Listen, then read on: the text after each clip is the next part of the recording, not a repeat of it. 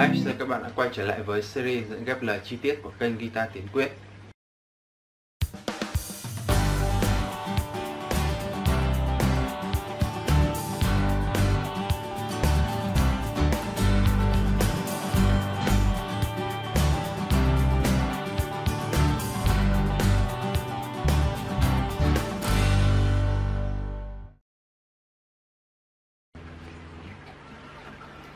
Nhắc lại cái đánh điệu disco. Đánh móc chúng ta có thể đánh là bùng check, móc 3 giây, đập. Chúng ta đập ngón tay cái vào phần 3 giây bát, rồi lại check. Làm lại bùng check, đập, check bùng check, đập, check bùng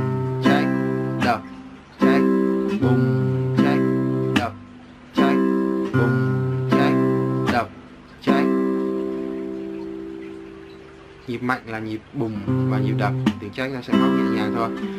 Đánh quạt, các bạn nhìn trên hình các mũi tên. Xuống, bùng trách hất lên, đập. Trách hất lên. Bùng trách đập. Trách bùng trách đập. Trách bùng trách đập. Trách bùng trách đập. Trách khi đập, nó sẽ đập phần phần này. Vào vào phần ba dây bát phía trên check đập check check đập check để xem kỹ hơn cái đánh điệu disco, các bạn thể bấm vào đường link trong phần mô tả các địa điểm hát cơ bản. Hợp âm sử dụng trong bài này là hợp âm la thứ, dây 2 ngăn 1 dây 3 ngăn 2 dây 4 ngăn 2 bát dây 5 hợp âm pha trưởng chặn ngăn 1 dây 3 ngăn 2 dây 4 ngăn 3 dây 5 ngăn 3, bát dây 6. Hợp âm đô trưởng, dây 2 ngăn 1, dây 4 ngăn 2, dây 5 ngăn 3, bát dây 5. Hợp âm son trưởng, dây 1 ngăn 3, dây 5 ngăn 2, dây 6 ngăn 3, bát dây 6.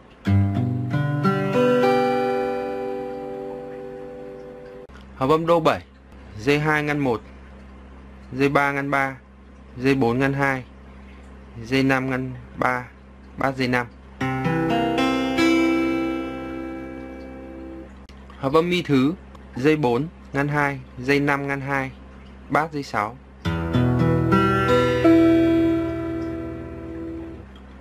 Nếu đây là lần đầu tiên bạn biết đến phương pháp ghép lời chi tiết thì hãy dành một phút để tìm hiểu nhé. Với phương pháp này, các điệu đệm hát mình đã trình bày ở dưới dạng sơ đồ như sau. Đánh móc được thể hiện bằng chữ và số, đánh quạt được thể hiện bằng hình mũi tên. Lời bài hát đặt tương ứng theo các nhịp đàn và các vị trí hợp âm của bài. Khi chơi, các bạn bám theo sơ đồ để biết được những nhịp vừa đàn vừa hát, những nhịp chỉ đệm đàn. Như vậy, các bạn vừa đàn vừa hát sẽ không bị sai nhịp, giúp cho cảm nhịp của các bạn được hình thành và phát triển. Do vấn đề đánh bản quyền bài hát của YouTube, nên mình sẽ chỉ giới thiệu phần sơ đồ ghép lời chi tiết rất mong nhận được sự thông cảm và ủng hộ của các bạn. Nếu thấy series này hay thì like, subscribe kênh để có thể xem các bài hướng dẫn mới nhất của mình nhé. Và nếu cần tài liệu, hãy liên hệ với mình. Và bây giờ xin mời các bạn theo dõi sơ đồ ghép lời chi tiết của bài hát hôm nay.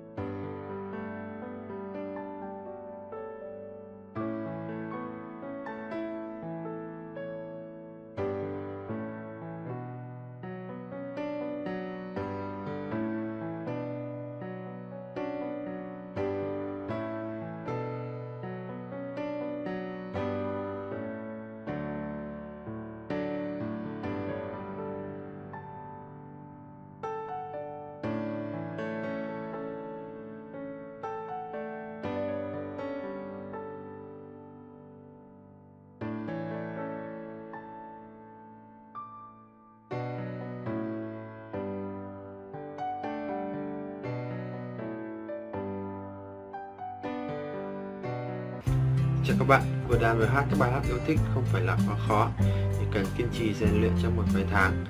Tuy nhiên trên thực tế thì có khá nhiều người có thể chơi được điệu, chuyển được hợp âm thành thạo. Nhưng khi hát vào lại hay bị lệch, không khớp nhịp uh, hát với cả nhịp đàn. À, Chính vì thế mà mình đã suy nghĩ và uh, sáng tạo ra cái à, kiểu hướng dẫn ghép lời chi tiết này. Và với mục đích là giúp cho những ai gặp phải những cái vấn đề mình vừa trình bày trên có thể sửa chữa và hát đúng giai điệu bài hát cùng với đàn à, cách hát của một bài hát thì nó rất là đa dạng. Tùy vào người hát có thể ngân nghỉ thì feel những cái chỗ khác nhau. À, tùy vào những các bạn phối này. À, là những cái um, cảm xúc khi chúng ta hát. Và cái uh, trong cái bài hướng dẫn hoặc là trong cái tài liệu à, mình thì mình sẽ làm một cái cách hát đơn giản nhất và giống với bản gốc nhất cho các bạn à, có thể à, tham khảo. À, hy vọng các bạn có thể chơi được các bài hát mẫu và sau đó là chơi các bài hát tương tự. Cách sử dụng ở cái tài liệu này thì nó cũng không quá phức tạp đâu. Nó thiên về thực hành điểm hát các bạn chỉ cần à, theo dõi kỹ cái sơ đồ mà mình à, đưa lên trên YouTube và trong các cuốn tài liệu. Và khi hướng dẫn thì mình đều hát, ghép lời vào với tốc độ là tương đối chậm để các bạn à, dễ dàng theo dõi hơn. Và khi chúng ta chưa được chậm rồi, có thể không cần nhìn nhiều tài liệu thì chúng ta có thể đánh nhanh lên và dần dần các bạn có thể quen được cái nhịp của bài hát. Và từ một, hai bài ban đầu quen thì chúng ta có thể chơi được rất rất nhiều bài tương tự với các điệu đó hoặc là các điệu khác cũng như vậy thôi. À, cái à, bộ giáo trình này của mình thì có những cái điệu uh, thường dùng ví dụ như là điệu van điệu slow rock bolero slow ballad slow surf và disco. Và mình sẽ cố gắng dần dần mở rộng ra thêm được nhiều điệu hơn nữa. Hy vọng các bạn tiếp tục ủng hộ mình để có thể ờ, giúp mình có thêm động lực để tạo ra nhiều cái bài và những cái video hướng dẫn tiếp theo. Chào.